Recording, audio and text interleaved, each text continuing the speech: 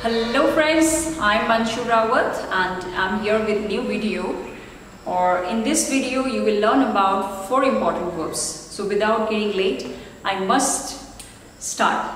Okay? So first verb is get. सबसे पहली verb है get. Get एक ऐसी वर्ब है जो हम अलग अलग तरीकों से यूज़ करते हैं जैसे आई गेट रेडी मैं तैयार होती हूँ।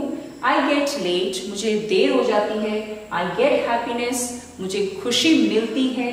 आई गेट गुड सैलरी मुझे अच्छी सैलरी मिलती है। I get up early in the morning you can say like this क्योंकि इसमें आप कहना चाह रहे हो कि मैं सुबह जल्दी उठ जाती हूँ।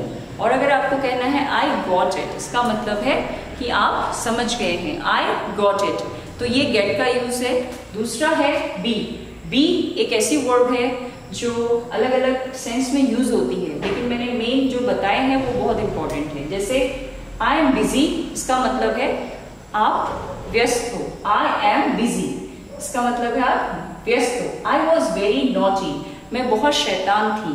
तो आप अपने बचपन के बारे में या कहीं किसी भी सिचुएशन में, जो पास्ट सिचुएशन है, उसमें आप बता रहे हो आई वॉज़ वेरी नॉटी दूसरा है I am use to I am use to sleeping late at night इसका मतलब है I am use to sleeping late at night का मतलब है कि आपको देर, रात को स्पेशली देर से सोने की आदत है। तो जब भी कोई, अगर आपके सामने या आप किसी के सामने ये बोल रहे हैं आई एम यूज़ टू तो उसका मतलब है आपको उसकी आदत है। I am use to lying मुझे झूठ बोलने की आदत है। I am out of station मैं शहर से बाहर हूँ। I am out of station इसका मतलब है, आप अभी शहर में नहीं हो, बाहर हो।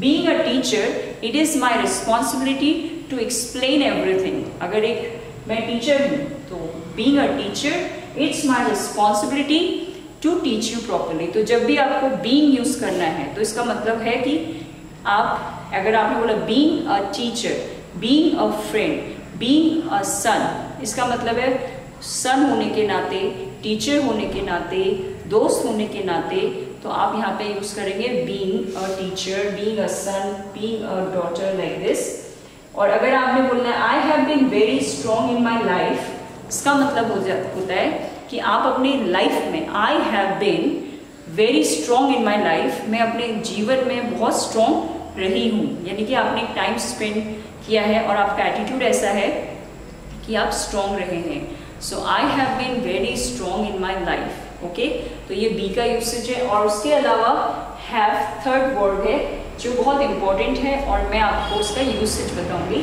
क्या क्या यूज़ यूज़ है इसका? पहला है I have a good job अगर आपको ये कहना है, मेरी मेरी अच्छी जॉब है, मेरे पास अच्छी जॉब है तो आप बोलेंगे I have a good job मेरी मेरे पास एक अच्छी नौकरी है। अगर आपने कहा आई हैव इनफ टाइम तो आप कहना चाह रहे हो कि मेरे पास काफ़ी समय है।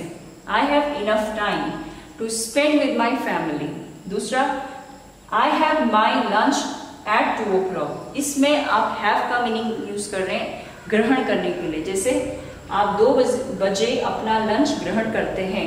I have my lunch at two o'clock okay have a nice day अगर आपको किसी को विश करना है, जैसे आपका दिन अच्छा रहे तो आप स्टार्टिंग हैव से करेंगे। Have a nice day have a nice day उसके अलावा अगर आप कहते हैं मैंने अपनी ग्रेजुएशन पूरी कर ली है तो आप कहेंगे I have done my graduation okay इस तरीके से आपको बताना है कि आपने ग्रेजुएशन पूरी कर ली है।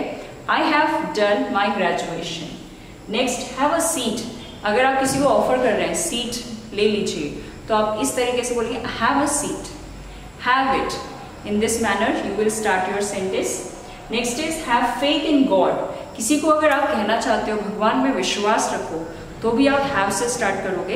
हैव फेथ इन गॉड ये हैव का यूसेज है। लास्ट में है वॉन्ट वॉन्ट मतलब होता है चाहना। ये भी बहुत इंपॉर्टेंट वर्ड है, क्योंकि जब भी आप कोई चीज़ विश करते हो तो आप कहते हो, मैं चाहती हूँ। जैसे आपकी विश है कि आप जाना चाहते हो तो आप बोलोगे I want to go next I want your help अगर आपको किसी की मदद चाहिए तो आप चाहते हो तो आप ये कहोगे I want your help.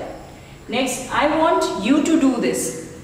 I want you to do this. Example, I want you to subscribe my channel. I want you to subscribe my channel इसका मतलब है मैं चाहती हूँ आप मेरा चैनल सब्सक्राइब करें क्योंकि इससे आपको आगे के वीडियोस भी मिलेंगे next do you want to come क्या आना चाहते हो? आपको किसी के बारे में जानना है तो आप बोलेंगे do you want to come with me do you want to watch my further videos तो यहाँ पे आंसर येस या नो कुछ भी हो सकता है। She wants a beautiful life वो एक अच्छी सी, सुंदर सी ज़िंदगी चाहती है। She wants a beautiful life तो आप किसी की डिज़ायर को अगर एक्सप्रेस कर रहे हो तो आप बोलोगे she wants a beautiful life so guys I have given you four important verbs be do be here this is the first word be next is get have want तो ये फोर इंपॉर्टेंट वर्ब्स हैं, जिन्हें अगर आप use करोगे तो you will see आपका जो लैंग्वेज बैरियर है, वो धीरे धीरे धीरे खत्म होता जाएगा and you will become very confident okay so please watch my this video carefully. And keep repeating these sentences and use them in your daily life. So thank you so much. Bye-bye.